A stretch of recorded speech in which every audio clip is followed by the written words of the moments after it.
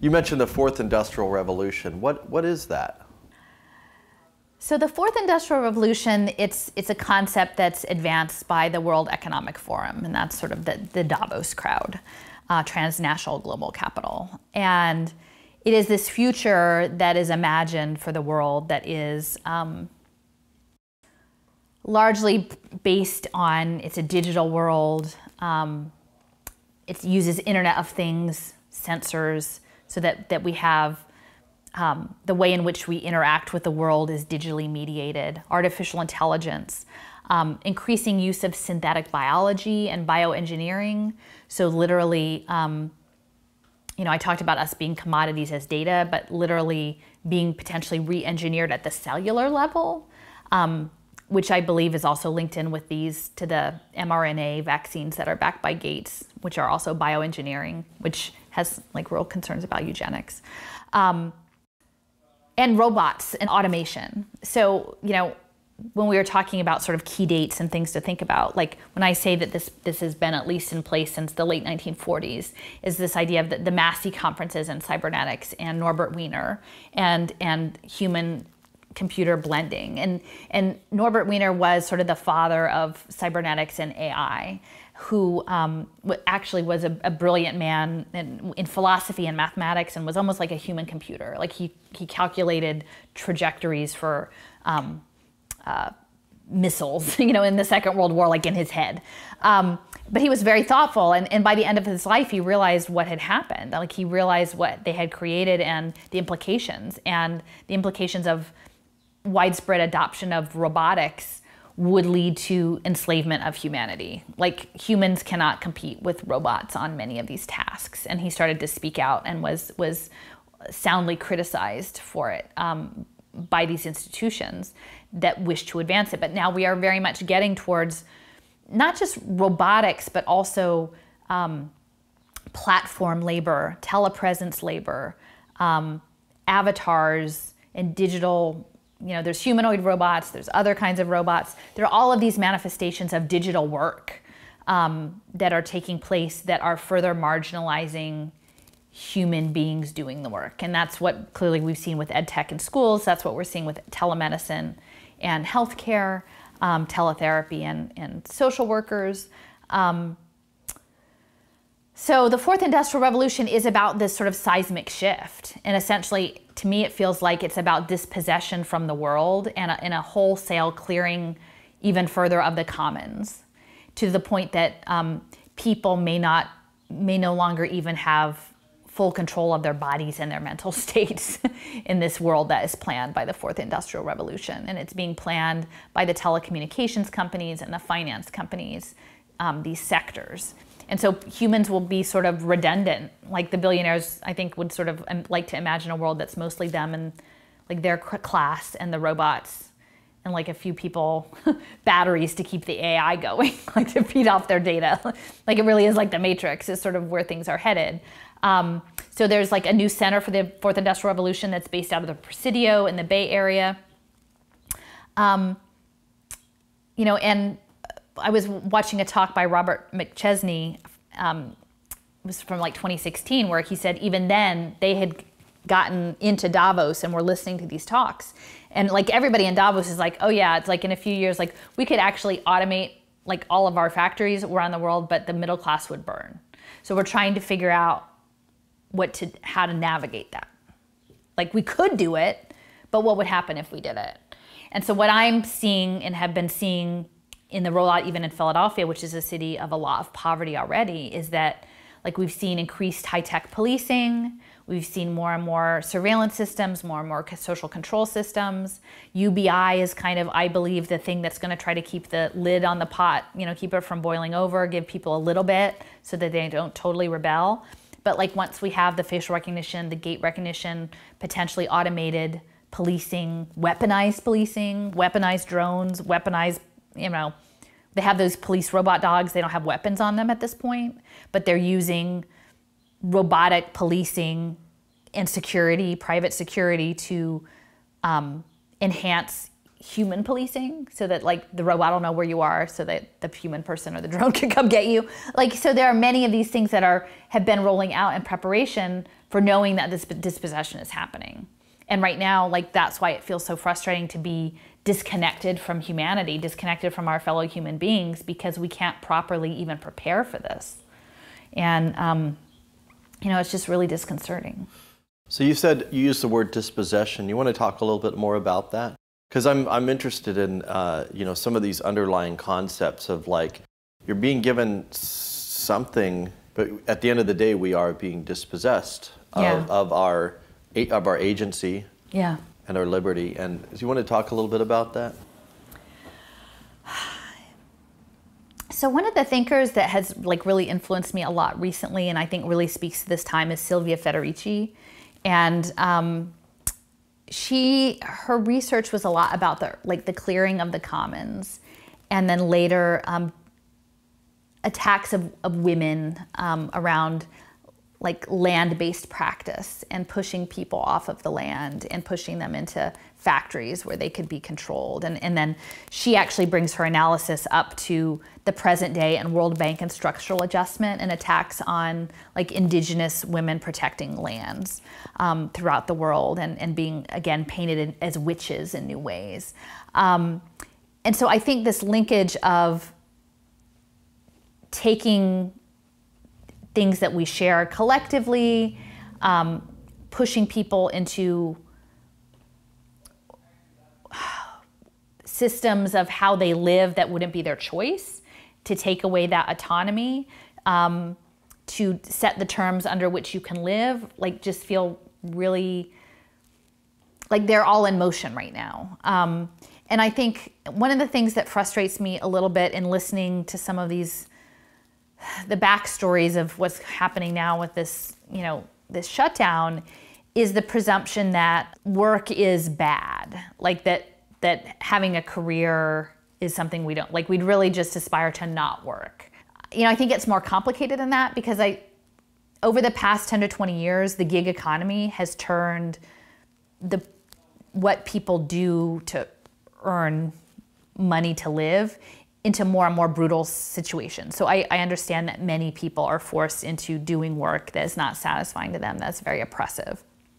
And we need to ser- like take that very seriously and, and, ad- and address that element.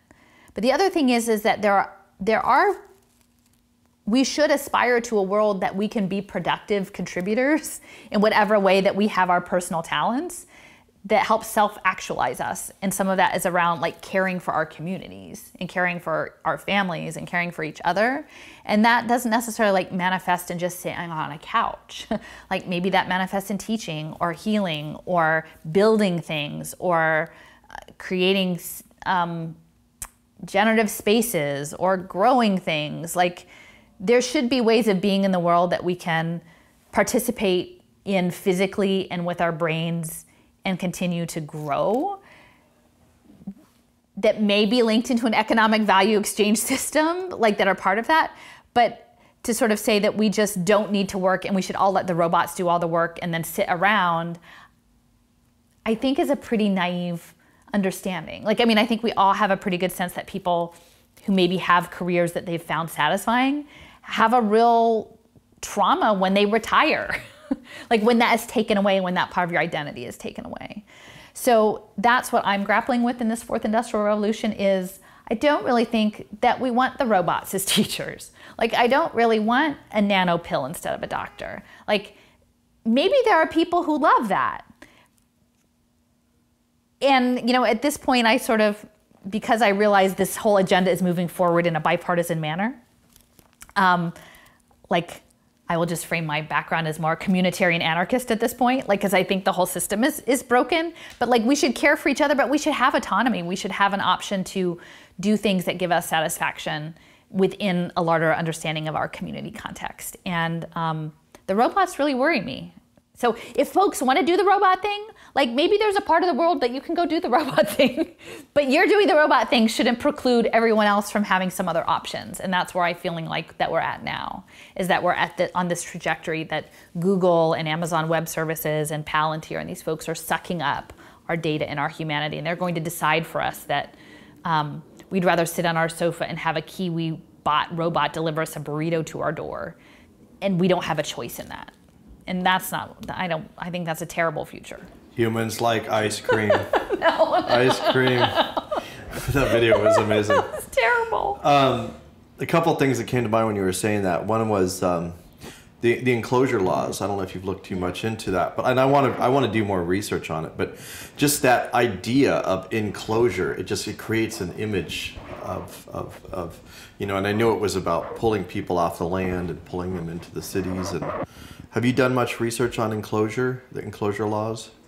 Not deeply. I mean, a lot of it is around like reading Silvia Federici's work and understanding that. Um, I guess my my my forte is sort of wide.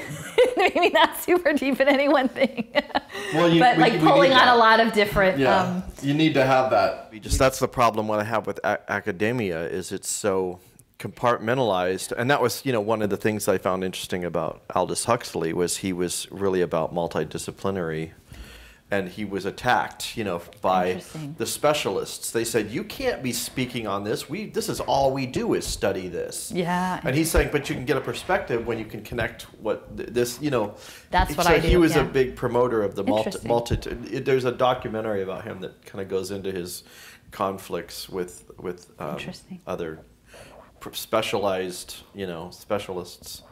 Um, but see, and that's like another sort of currency, right? Like I've got my credential, I, my reputation is more valuable than yours, and and I think that's what I'm trying to get at is this alternate worldview is not about domination, like I'm more expert, but is about a collective knowledge web, and that that shared knowledge that can be applied is much more what we need in this moment than people who have certain very particular knowledges that are locked away and exchanged in very prescriptive ways.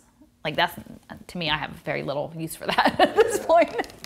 I see our current situation on this sort of verge of techno dystopia is part of a historic continuum that's based in racial capitalism. Like that's, um, it's based in, in what we've done to indigenous people and black people and through enslavement.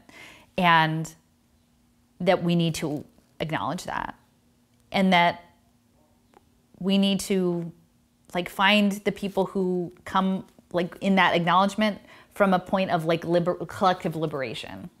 That that if you understand this if you're on board for collective liberation and you're not hurting other people your goal isn't hurt other people like we can build the thing.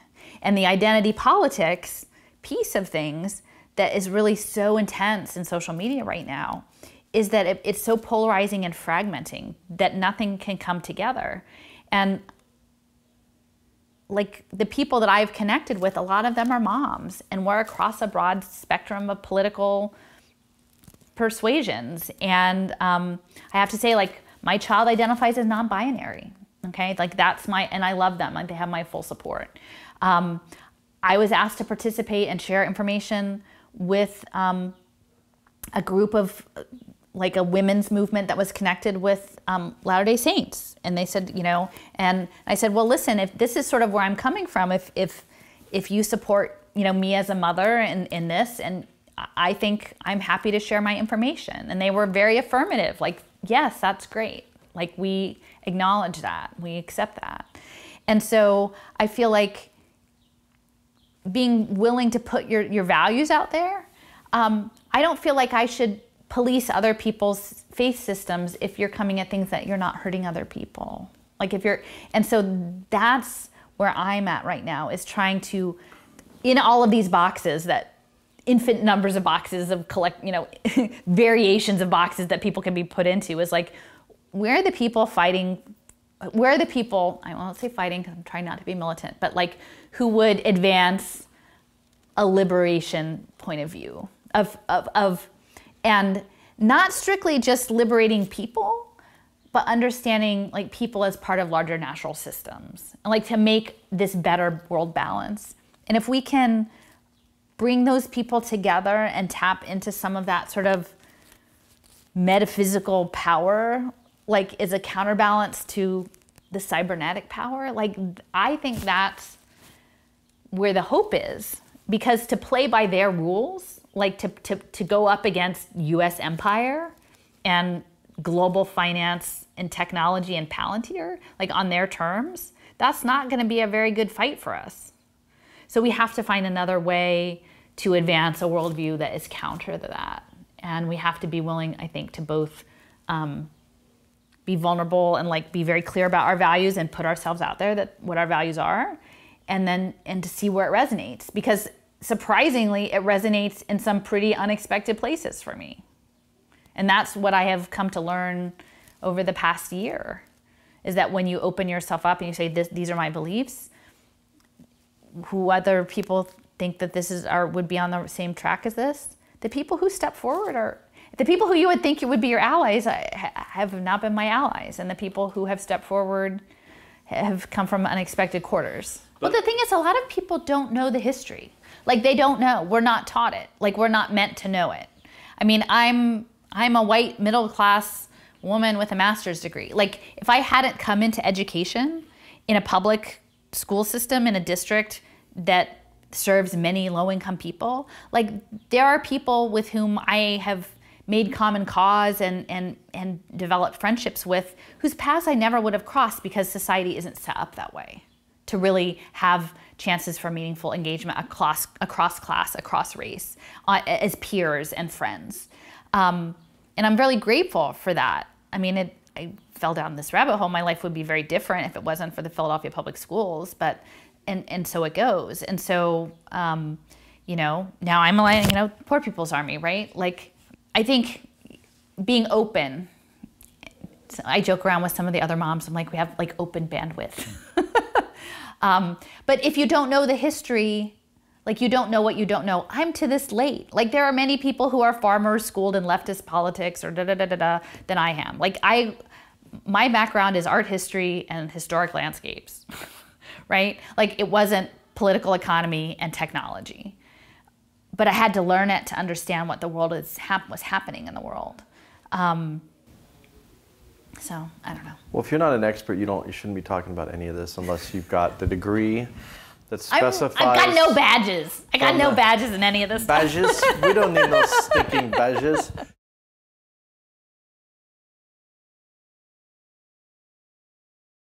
I think there are many aspects to the, situation that we're not meant to know. Like we're not meant to have all the facts because having not having all the facts leads to more speculation and more friction for me, all, I had done all of this research about the fourth industrial revolution leading up to this, and I never would have figured that pandemic was going to be their trigger moment to make all of this rollout happen.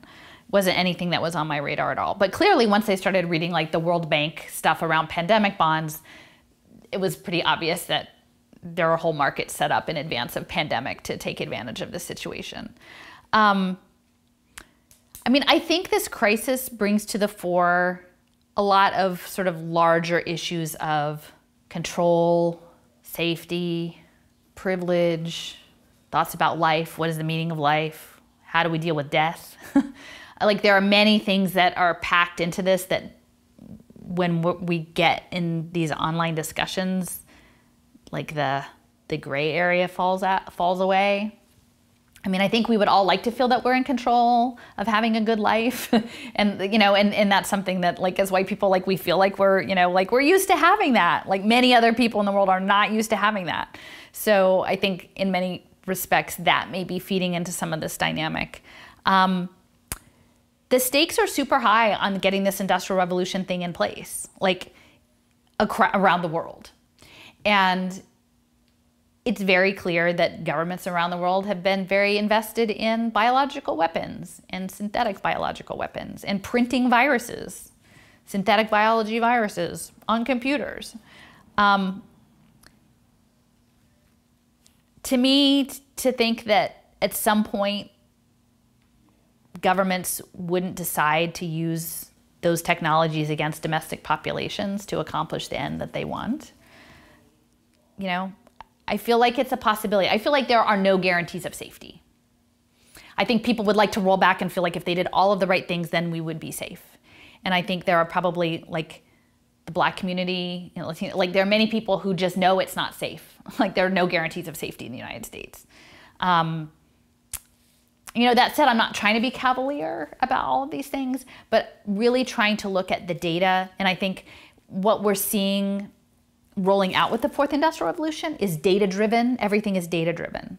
Um, government is data driven. Society is data driven. It's all driven on data, but data can be used to different ends depending on what data you use, how you collect the data or don't collect the data, how data is compromised or not compromised. So I think it's highlighting all of these issues around data analytics and the power that data analytics have over society, both in very specific policy ways, but also just even on our mental states. Um, because two people can look at the same thing and interpret it very differently. Um, so, I mean, that's where I'm at. I'm not, we don't know. Like, there are many aspects of this that we don't know, but at the same time, what I would say is, under these conditions of extreme hardship that are advancing the fourth industrial revolution and, and cons further consolidating power in ways I think are going to be have long-term negative consequences, we have to look out the other end and say, like, when are we going to say it's okay to come out because I think from a mental health standpoint and economic standpoint, there's tremendous trauma that's happening um, that can't be discounted. And from hearing them talk about it, it sounds like the plan is waves on waves of this, that this is the new normal, is facing pandemic. And whenever things get out of hand, that that's the card that can be played, whether it, it's, a, it's a pandemic in actuality, whether it's a, a natural situation, or whether it's something that is engineered by a political entity to a certain end. And that's just how it is. And it's kind of awful to have to think about it. But. Um, well, I think a lot people have a hard time thinking of their leaders or thinking of politicians or business people or, or, you know philanthropists as having any ulterior motive. You know, they can imagine some foreign leader being this horrible person, but they can't imagine someone you know, of their own color or their own nationality or whatever. I don't know. It's it's very bizarre to me, like that people can't grasp that there's something else going on. Well, I mean, there's a huge mythology of America, right? For some people, I mean, the, about yeah, just what we are like and what America represents. So. Um, like when you start to peel back, it's not all rosy. and um, yeah, I mean, if you look at the money, like for me, money and, power, they're the same thing. You just, you follow the money. And I, I think that many, and this is where the fourth industrial revolution in Davos is so key, is that I think you know, you always hear the two wings of the same bird kind of narrative. But truthfully, these programs are being advanced by powerful interests who have enough money to buy both sides. And they'll brand things and frame things differently, but they've bought both sides. Google has bought both sides. Jeff Bezos has bought both sides.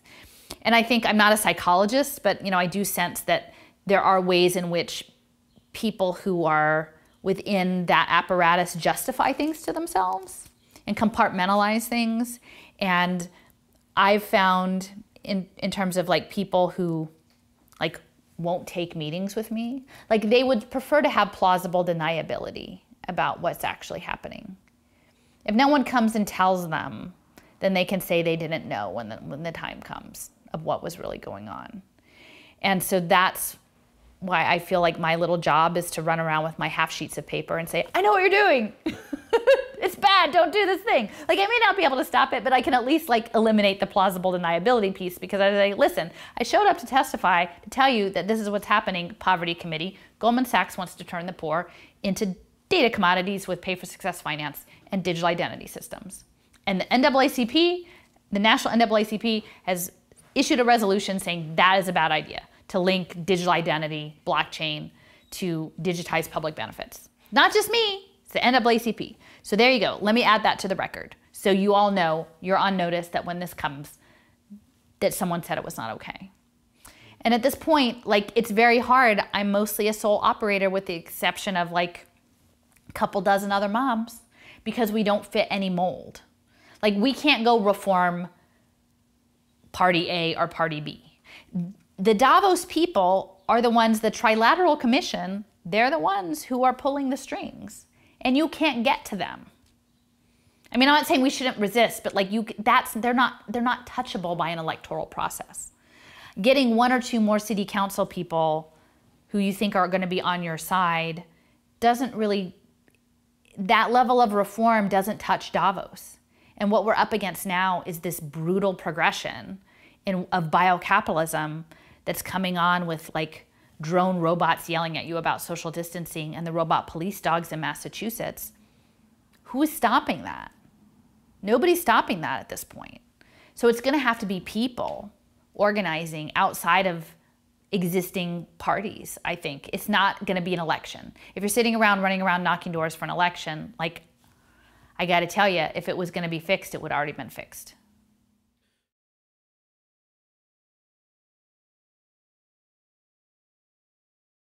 So can I, just as a background around the human capital markets. So this idea of wealth being concentrated in a, small number of people, and then you have lots of poor people. And it's almost like a plumbing problem. Like capital has to circulate in order for the system to keep going, like for growth. For people to continue to make money, capital has to flow. If it gets locked up, the whole system falls apart. And that's why, you know, even after the last 2008 crash, everyone's like, still spend money because if you stop spending money, the whole system falls apart. Okay? So, to keep the money flowing, that's why we have to turn the poor into commodities. And the data structure for that, and this is to channel transnational global capital. So these are the 2,000 of the world's largest asset holders. You know, BlackRock, Blackstone, UBS Bank, Deutsche Bank, Citigroup, Goldman Sachs, all of these players, Vatican Bank, Saudi Sovereign Wealth Fund, all of this money is locked up and it needs a place to flow. And we're, we are reaching a point in which the general population did not have liquidity or buying power to, to keep that going. So that's why this shift has to happen in terms of turning people into these gambling commodities. So then the rich are playing amongst themselves this gambling game over who gets the more money. That structure rolls through the United Nations Sustainable Development Goals, which may seem like to make not much sense. Like, how does the UN connect to impact investing? But connects very directly. Two thirds of the 17 Sustainable Development Goals are about poverty. There are a few that are about water and carbon and climate, but it's only like four or five of them. The rest are about public private partnerships and about education and health and smart cities and justice and all of these things about managing populations. Okay, so those were passed in 2015. The Global Impact Investment Network was set up like 2007, 2008, right around the crash. And that was getting everybody on board for metrics, impact metrics for social impact. Okay, they're connected. So that's 2008 or so, Judith Rodin and the Rockefeller Foundation with the B Lab, they got everybody set up with the metrics now to play their game. Down 2015, the, uh, everybody signed up for the UN Sustainable Development Goals. Okay, we're thinking climate, but really it's a little bit of climate and a lot of poverty. So then there's something called the Impact Management Project, which is these 2,000 largest asset holders that are going to channel their capital into fixing the climate and solving poverty.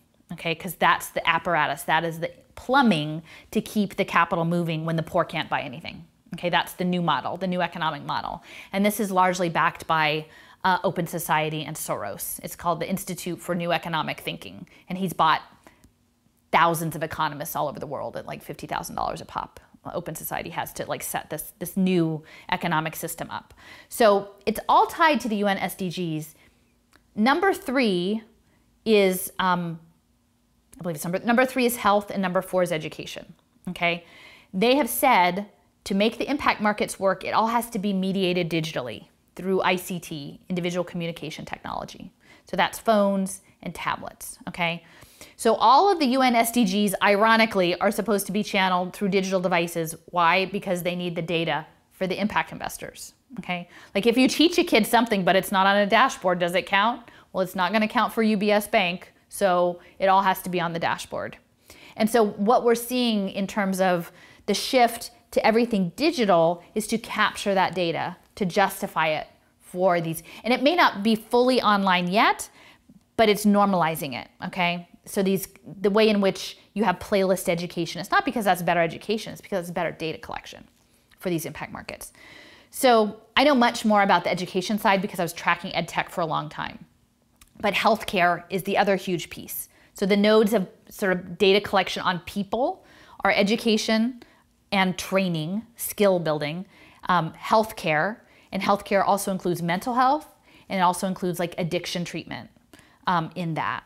And then supportive housing. So that's like housing for people um, and services around their housing for people who are unhoused. Those are the three main areas of data collection. So what we've seen with this lockdown situation now is all of a sudden, at least two of these major industries that are connected, health and education, are all platformed. Everything is online. School is closed. No more school. Probably never more any more school unless we wear like hats with pool noodles on the top or something. I mean, it's ridiculous. Like, and so as I was studying this for the last five years, this model is called the learning ecosystem. And it's supposedly, I guess, when we go out, that you don't have bricks and mortar schools anymore. You just, um, it's like Pokemon Go education. Um, you bump around and earn skill badges, like the Girl Scouts or the Boy Scouts, and it goes into your learning locker that later you can be the AI can profile you for a job. But you learn through projects in work-based learning settings and you go to the rock gym and earn a badge and you go places in your community, but it's all under surveillance and you do this instead of school. And then most, most of it's online. And for high school kids, you would just have a cheap Chromebook. And again, it's all consumption, not creation. You can't really make much on a Chromebook. You can just consume and be consumed. Um, and then the little kids would be in these alternative settings like the YMCA and the Boys and Girls Club. And this has all been set up for at least the last 15 years, this infrastructure, as after school programming and summer school programming. And I was always thinking, they call it learning ecosystem, it's out of KnowledgeWorks in Cincinnati. And I was like, how are they going to close all the schools? I was like, you know, I'm telling people this is coming, this is coming. And they're like, we can't see it. And I'm like, how are they going to close all the schools? Like, who would ever do that? Me and my husband. He's like, there, no one's going to close all the schools. Well, yep, didn't see pandemic coming, right? And so now we've closed all the schools, and then the conditions under which in some places they're reopening schools are so horrific, it's like a prison. So people don't want to send their kid back to school. One, either because they don't feel safe because of health concerns, or two, they just think it's brutally awful.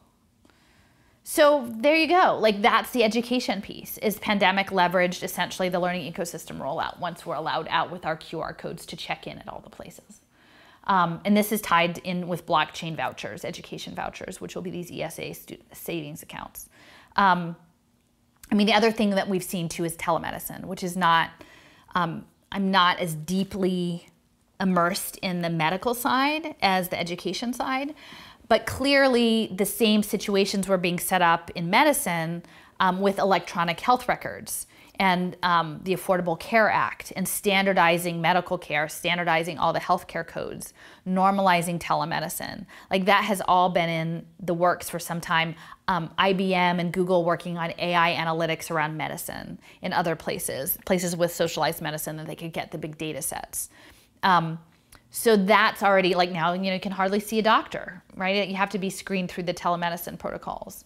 Um, I mean, the other piece on this is supportive housing is that there are many people that despite, you know, restrictions put on evicting people now and sort of postponements, there's a very clear sense that a lot of people are going to probably be dispossessed out of their current living situations,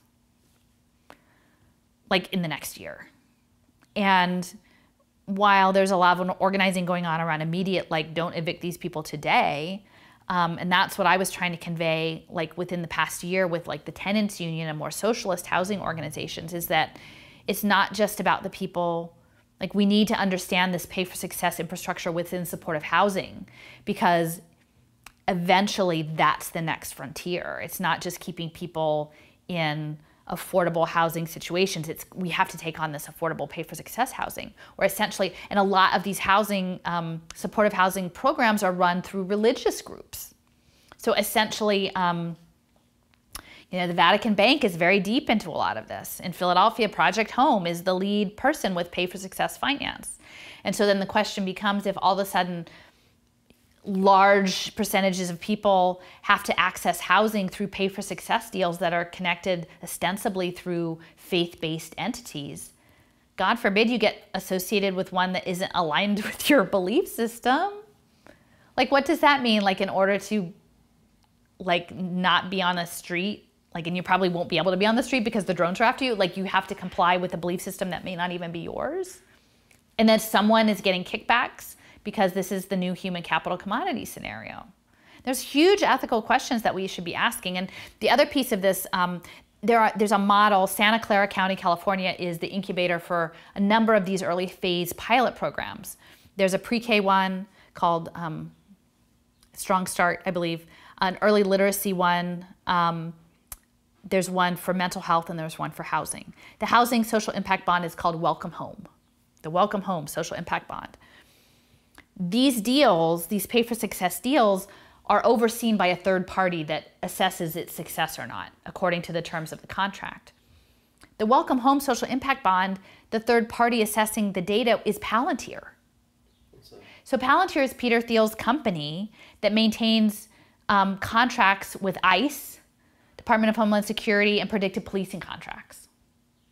Okay?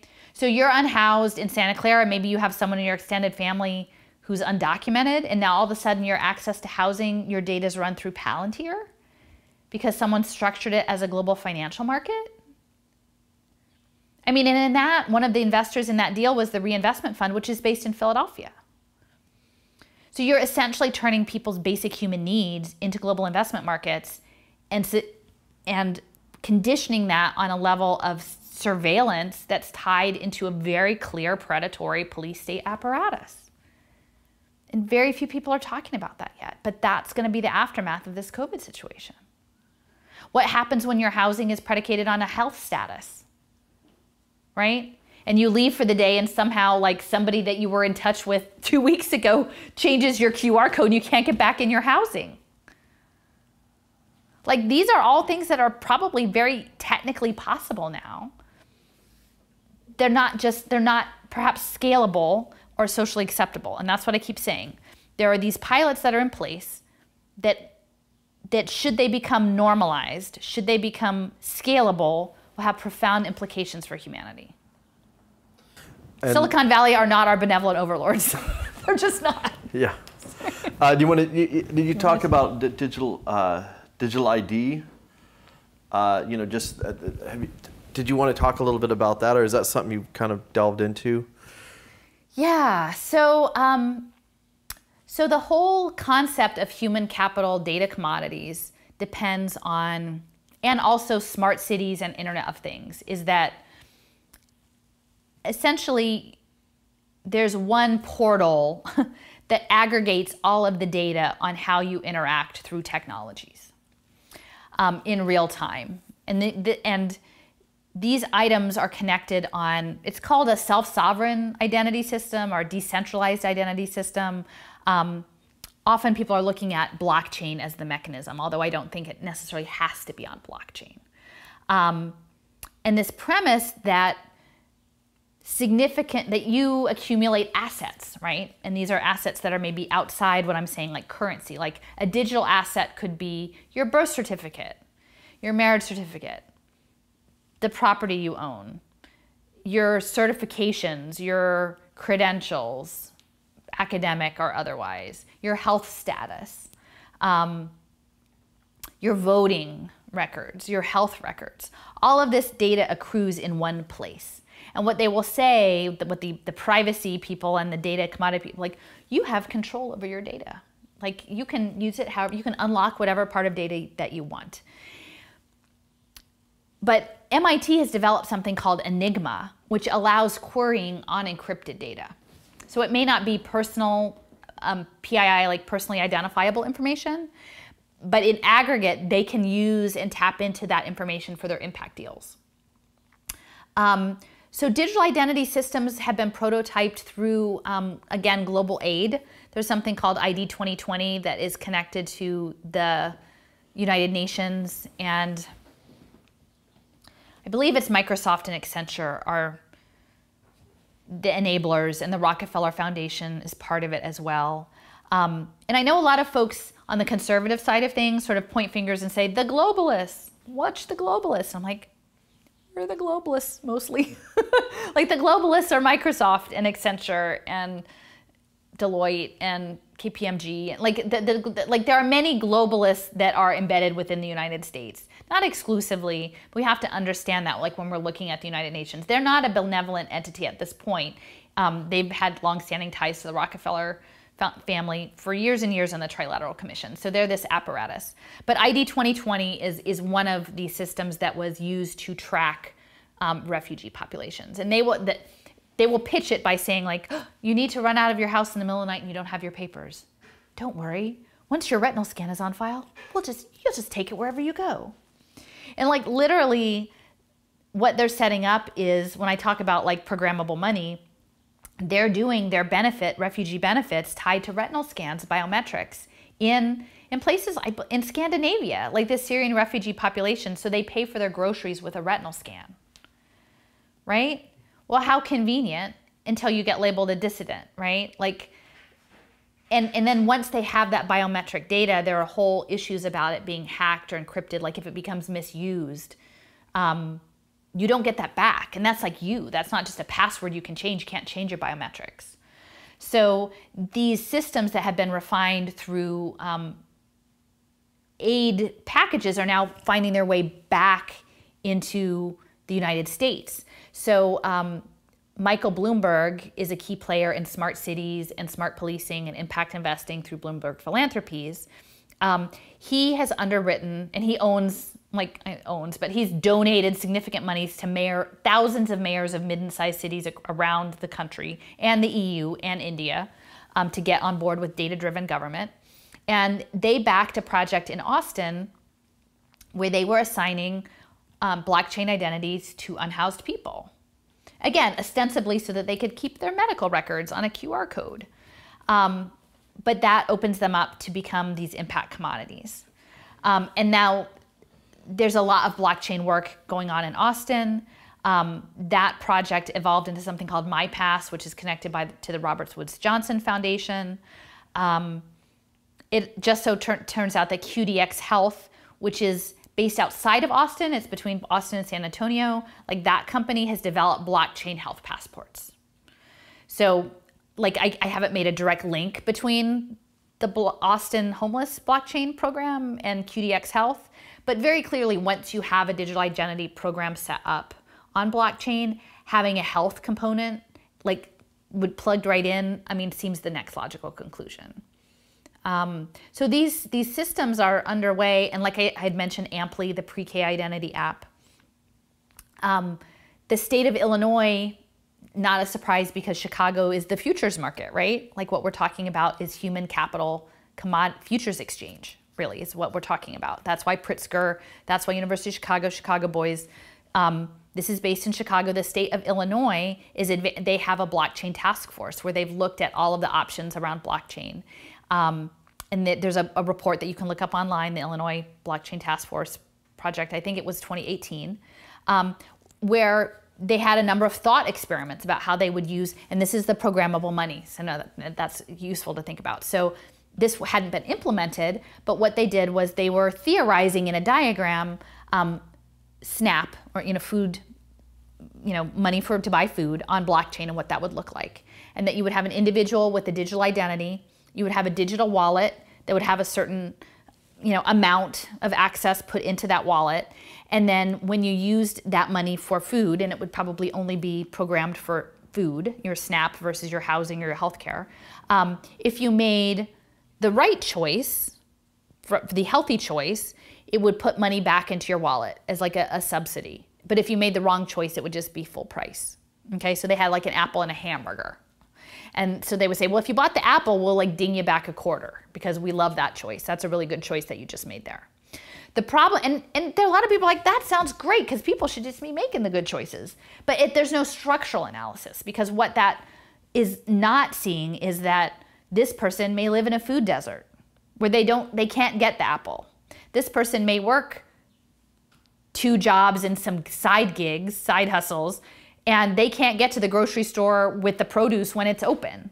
This person may live in a squat and not have access to cooking opportunities. Like there are many reasons by which the right choice is not the possible choice. And then people say, well, it's just a plus.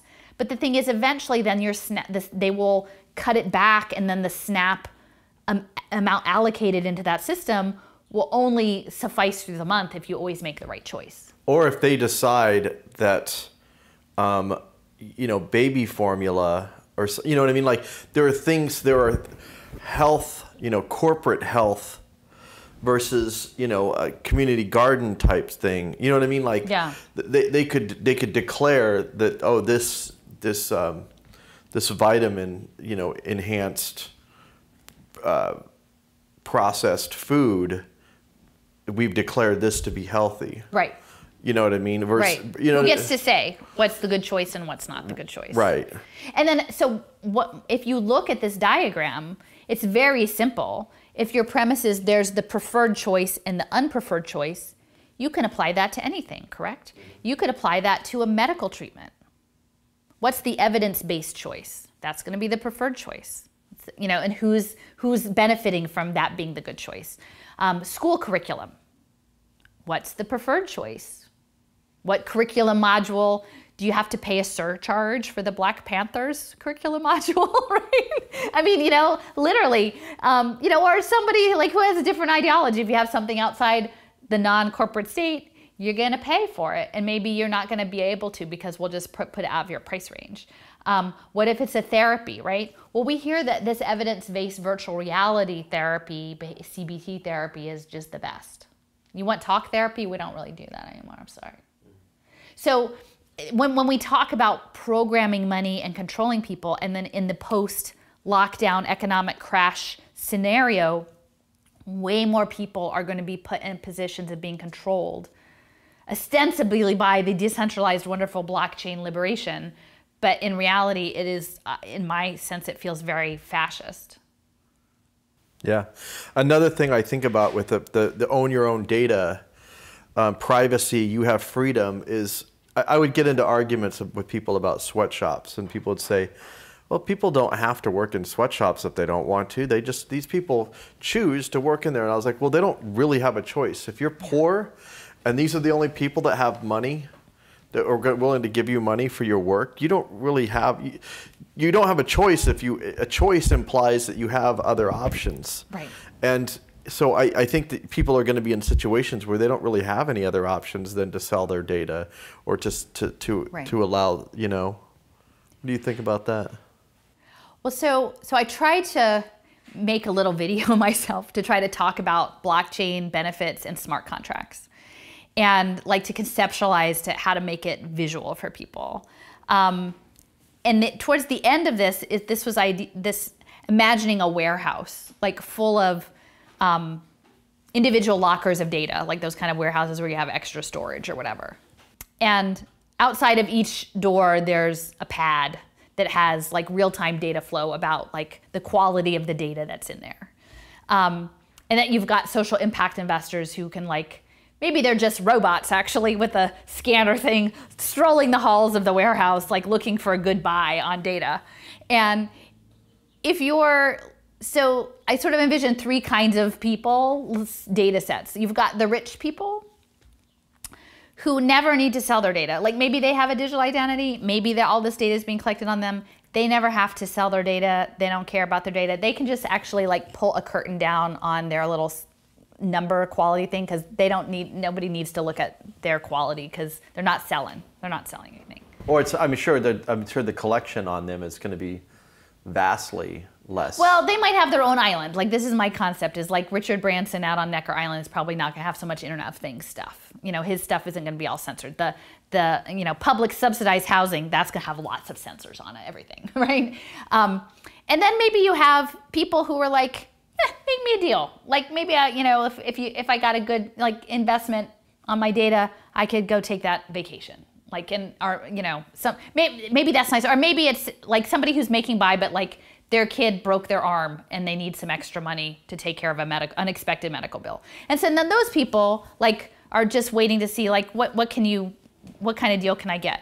But then you have poor people who are totally dispossessed who just like have to leave their door open and just hope somebody finds something worthwhile because they're not going to be able to live without selling the data and they just have to sell it at whatever price they can get it because that's just how it is and and i, I think you know that's what we see in philadelphia is that we have such a high poverty rate we have so many people on the streets we have so many people who are, are living through these like economic cataclysms they don't really have these choices to make and adding data as a commodity isn't freeing anybody. It's just a new way to capitalize on people's misery, in my mind. Um, I mean, I think what I'm looking for is a world of reciprocity and like right relationships, and that isn't something that is transactional in this micropayment freaking blockchain world where everything is calculated, right? And everything is predicted. Yeah. Um, that's not, I think that's an anti life way of going about things, and that's my personal opinion.